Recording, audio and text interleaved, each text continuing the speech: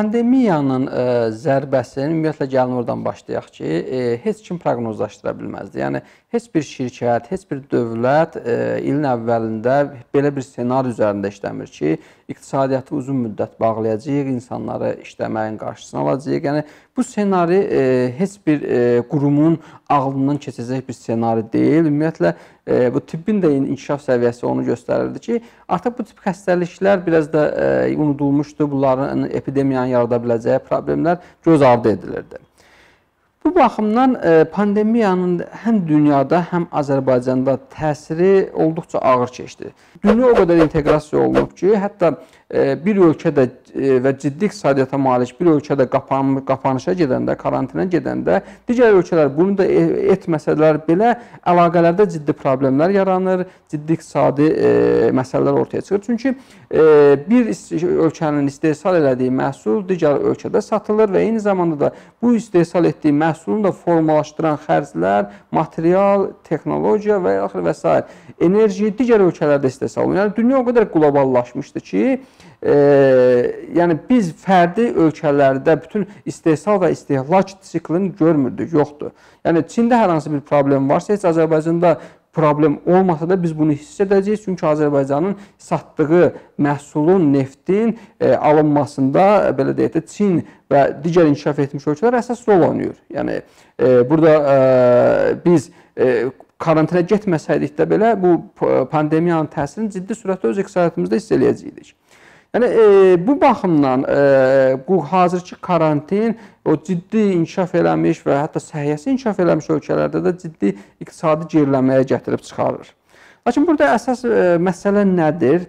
Əsas məsələ ondan ibarətdir ki, biz e, bu tip ölkələrdə e, karantinin tədricən aradan qalxması ilə o V şəkilli deyək də, yəni sərt eniş və sərt e, yüksəliş meyllərini görürük. Yəni bu ölkələrdə postpandemiya və ya da pandemiya prosesində iqtisadiyyatların tədricən geri qayıtması, fəaliyyətlərin azad olunması e, bu ölkələrin yenidən iqtisadiyyatını bərpa ed sürətlə bərpa etməsini göstərir. Hətta Çində də ciddi sürətdə iqtisadi e, belə deyək də eksport ixracat rəqəmlərinin biz şahidi olduq, istehsalat rəqəmlərinin şahidi olduq. Amerikada məşğulluğun sürətlə şəkildə bərpasının şahidi olduq. Yəni e, hətta proqnozları da üstələyən şəkildə belə deyək də Amerikada məşğulluq bərpa oldu. Ancaq e, qayda Azərbaycan kimi ölkələrə e, bu karantinin təsiri müxtəlif istiqamətlərdə oldu. Birincisi, e, bizim əsas ixrac resursumuz olan neftin qiymətlərinin kəskin, enerji resurslarının və o cümlədən neftin qiymətlərinin kəskin azalması fonunda. Yəni burada biz e, bu zərbəni gördük. Xüsusən də e, 6 aylıq rəqəmlərə biz baxsaq, neftin e, ilin birinci yarım illiyi üçün orta satış qiyməti 38,7 dollardır ki, biz e, minimum 55 dollar planlaşdırırdıq. Burada nəzərə alaq ki, e, burada e, neftin orta çəkili qiymətinin 38.7 dollar e, qalmasının əsas səbəbi yanvar, fevral, mart aylarında nisbətən daha yüksək olması idi. Aprel, may aylarında isə kəskin aşağı düşdü. Yəni biz e, ixracatımızın 90%-ə qədəri enerji resurslarıdır, neftin, e, qazdır və neft-qaz məhsullarıdır. Burada ölkəyə ciddi surətdə e, mənfi təsir göstərdi pandemiya. Yəni bizim gəlirlərimiz aşağı düşdü.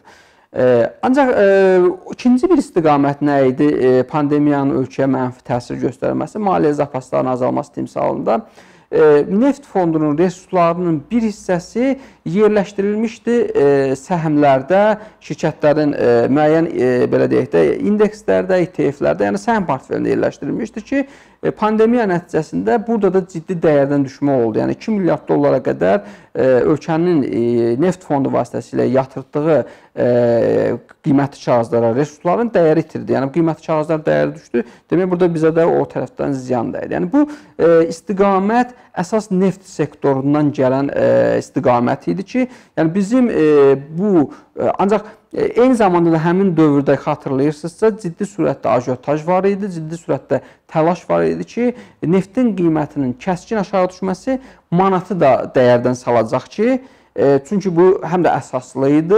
Çünki Azərbaycan tipli ölkələrdə hətta diversifikasiyası səviyyəsi Azərbaycandan daha yaxşı olan e, Rusiya, Qazaxıstan e, kimi ölkələrdə e, hansı ki iqtisadi tarixdə bizə oxşardı, insanların şuuru və idarə etmə tərzi və mexanizmləri də bizə uyğundur. Və bunlarda dərhal valyutaları reaksiya verdi və dəyərini itirdi. Həm Rus rublu, həm Qazax tencəsi dəyərini itirdi və təbii ki, insanlarda bu gözlənti yarandı ki, həmişə bu ölkələrdə baş verən məsələlər bizə 3-5 aydan sonra bizə ixal olunur.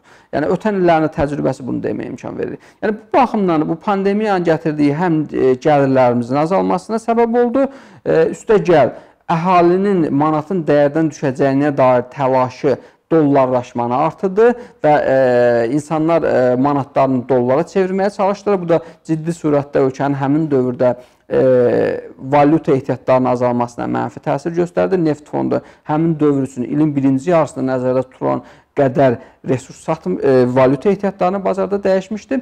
Yəni e, dövlət e, gözləmədiyi halda, iqtisadiyyatımız gözləmədiyi halda bu zərbələri ard-arda almağa başladı.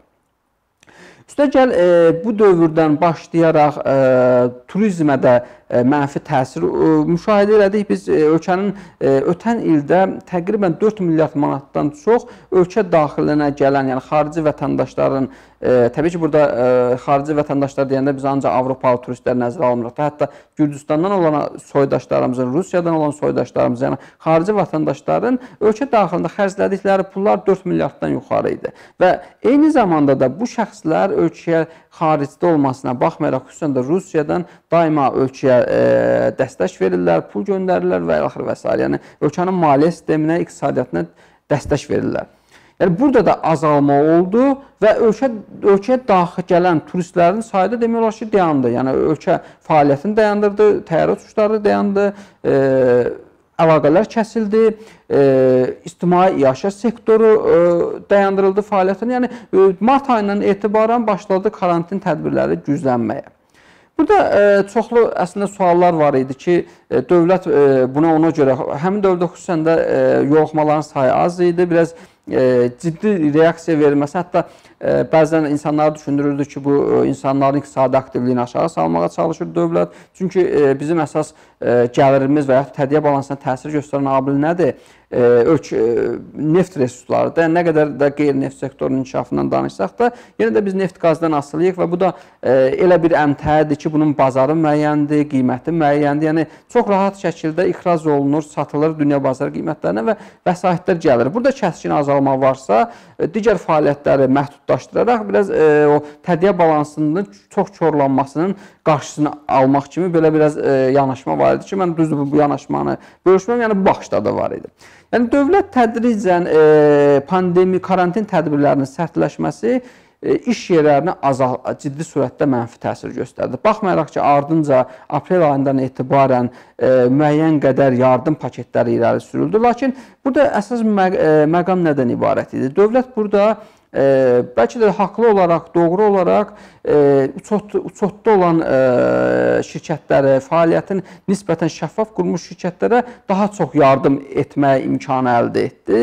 Çünki e, biz bilirik ki, şirkətlər e, nə qədər olmayan müxtəlif sektorlardan asılı olaraq şəffaflıq səviyyəsi və e, dövriyyələrinin e, bəyan etmə səviyyəsi fərqlidir. Yəni bu e, dövriyyələrin 20%-də elan edən şirkətlər var, 80%-də elan edən şirkətlər var. Yəni bu baxımdan həm işçi sayı, həm əmək haqqı fondu fərqli təqdim edildiyinə görə dövlətin baxmayaraq şirkətlərin fəaliyyətini dayandırdı, ancaq dövlətin yardımı sırf rəsmi rəqəmlara əsaslandığına görə bu bütün iqtisadiyyatı təbii ki dəstəkləyə bilməyəcəkdir. Həm də nəzərə alaq ki, bu dövrdə dövlətin həyata keçirdiyi yardım paketi də elə 190 manata düzdür, işsiz şəxslərə, qeydiyyatçısız məşğulluqla fəaliyyət göstərən şəxslərə müəyyən qədər kömək etsə də, Bu onların qazandığı gəlirlər miqyasında olduqca məhdud idi. Həm də e, bunun müəyyənləşdirilməsi və ödənilməsi, ödənilməsi zamanı çoxlu məhdudiyyətlər olduğuna görə bu lazım olan bütün insanlar arasında paylaşmadır. Ümumiyyətlə e, pandemiyanın ölkə iqtisadiyyatına zərərin qiymətləndirilməsi, hətta İqtisadiyyat Nazirliyi tərəfindən də biz dəqiq məlumatı əldə edə bilmədik. E, yəni xatırlayırsınızsa, may ayında elan edilmiş rəqəm gündəlik pandemiyanın ölkə iqtisadiyyatına 120-150 milyon arası, yəni bu karantinlərin ölkə iqtisadiyyatına 120-150 milyon manatlıq e, zərər vurulması idi. Yəni hər işlənməyən gün, hər hər karantin, sərt karantin günü ölkə iqtisadiyyatına təxminən təsiri bu cür qiymətləndirildi ki, bu da o intervalın olması dəqiq qiymətləndirmənin olmadığını göstərir. İkinci məsələ biz e, fərdi, xüsusən də kiçik və orta sahibkarlığın şəffaf rəqəmlərin olmadığına görə, yəni bu e, statistikada da e, hesabatlıq səviyyəsində də rəsmi e, və əhatə edəcək e, rəqəmlərin olmadığına görə e, götürüb e, bunu müqayisə etmək ki, bu kiçik və orta sahibkarlığa nə qədər ziyan dəyib, bu olduqca e, çətin e, belə deyək də e, bir tapşırıq olacaq. Çünki bu e, şirkətlərin həm şəffaflıq səviyyəsi fərqlidir, həm də xüsusən də kiçik sahibkarlıqda e, kölgə iqtisadi iqtisadiyyatının həcmi daha yuxarıdır.